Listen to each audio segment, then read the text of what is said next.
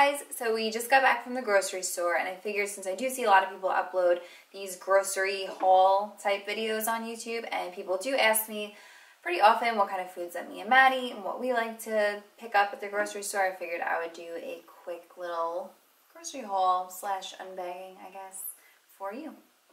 So before we get into everything that we picked up today, we do go food shopping once or twice a week depending on, you know, if we run out of something or if something comes up, we're in the mood for something that we may not have in the house, things like that. But um, as much as we talk about flexible dieting, we do try to stick to, for the most part, minimally processed foods, so lots of fruits, veggies, fibers, lean proteins, things like that.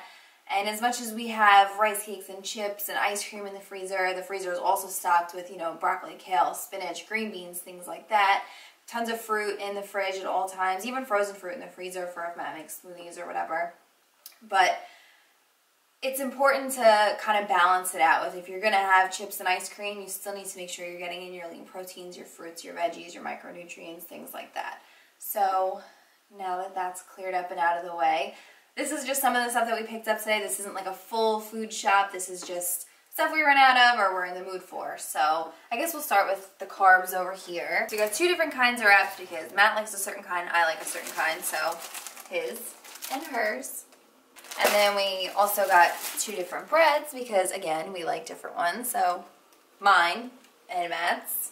His is just the honey honey whole wheat. Mine is just the white bread. And then we got just a whole bunch of drinks. We got tons of diet soda, um, these fruit waters, I love. They are so good for me, especially because I get kind of like sick and tired of just plain old water and I don't drink as much as I need to. So having these now definitely helps me make sure I'm staying on top of that and getting enough water in. Same with these, we get these Crystal Light packets all the time. So that one's just plain lemonade. Oh, and then milk too.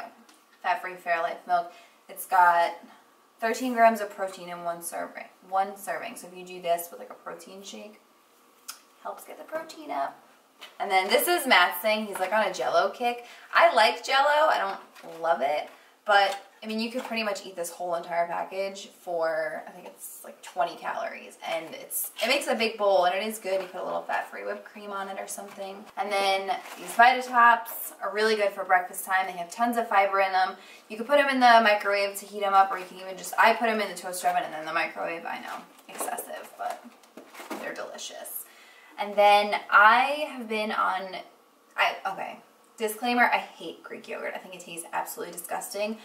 But these Greek 100 whips, the chocolate cherry, are so good. It tastes like chocolate mousse, obviously with cherries, but it's so, so good. And again, they have tons of protein in them. They're low calorie, low carb, low fat, so that helps. And this is Matt's Greek yogurt. I hate fat-free plain Greek yogurt, but it does actually make a good substitute for sour cream if you don't have any or are in the mood for it. Um, you can use it in lots of different things. You don't have to just eat it plain. I personally can't eat it plain.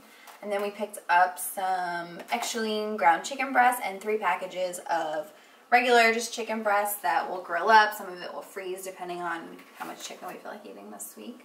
Got some lettuce, uh, Matt's egg substitute. I actually can't eat eggs. I'm allergic to the protein in eggs. It doesn't sit right in my stomach, but those are good to have in the house for Matt. Just plastic bags, that's boring some celery for snacking or even to throw on salads. Trader Joe's makes, I think it's called... Reduced guilt. Redu yeah, reduced yeah. guilt guacamole, and it's in like a thing like this, and it's so good. So if that's like that, that'll be good. And then we got just some bell peppers. Cook them up or eat them raw as snacks, whatever. Honeycrisp apples. And then we just got some light maple syrup because I was going to get Kodiak cakes and they did not have the right one, so I didn't do that. But yeah, that was pretty much what we picked up today. And like I said, this isn't everything that we eat all the time throughout the week. It was just some things we ran out of or were in the mood for, like these yogurts or something like that. But yeah, I hope you guys enjoyed this video. And if you did like it, please give it a thumbs up. Don't forget to subscribe, leave a comment down below of some other video, video ideas you guys would like to see. You guys have been leaving tons of good comments and I am working on getting those videos done. I have a few videos coming this week and yeah, I'll see you in the next one.